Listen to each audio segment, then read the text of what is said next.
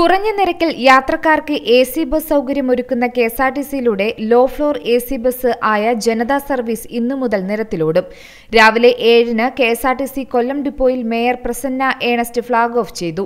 ജനതാ ബസ്സിലെ minimum ticket നിരക്ക് ഇരുപത് രൂപയാണ്. തുടക്കത്തിൽ Kollam Thiruvananthapuram Kottarakkara Thiruvananthapuram റൂട്ടുകളിലാണ് K S R T C Janata ബസ്സുകൾ സർവീസ് നടത്തുന്നത്.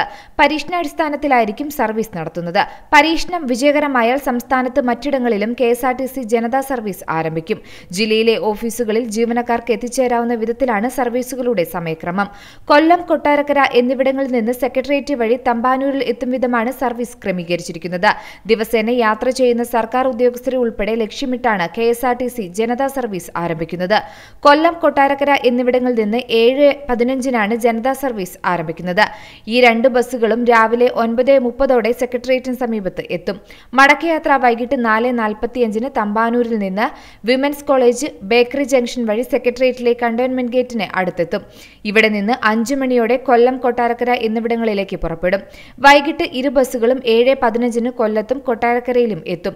കെ എസ് ആർ ടി സിയുടെ ഫാസ്റ്റ് പാസഞ്ചറിൽ സ്റ്റോപ്പുകളെല്ലാം ജനതാ സർവീസിനുമുണ്ടാകുമെന്നാണ് വിവരം. സാധാരണ യാത്രക്കാർക്ക് കുറഞ്ഞ ടിക്കറ്റ് നിരക്കിൽ എ സി ബസ്സിൽ യാത്ര ചെയ്യാൻ ലക്ഷ്യമിട്ടുകൊണ്ടുള്ള സർവീസ് ഫാസ്റ്റിനേക്കാൾ അല്പം കൂടിയ നിരക്കും സൂപ്പർ ഫാസ്റ്റിനേക്കാൾ കുറഞ്ഞ നിരക്കുമാണ് ഈടാക്കുന്നത്. കുറഞ്ഞ നിരക്ക് ഇരുപത് രൂപ മാത്രമാണ്.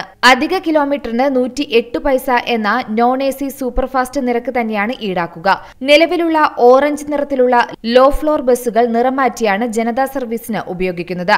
മുൻവശത്ത് ആകാശനില നിറമാണ് നൽകിയിരിക്കുന്നത്. News desk C Malayalam news. പുതിയ വാർത്തകളും വിശേഷങ്ങളും ഇനി വിരൽ തുമ്പിൽ. എല്ലാ ഡിജിറ്റൽ പ്ലാറ്റ്ഫോമുകളിലും ഇപ്പോൾ സി മലയാളം ന്യൂസ് ലഭ്യം.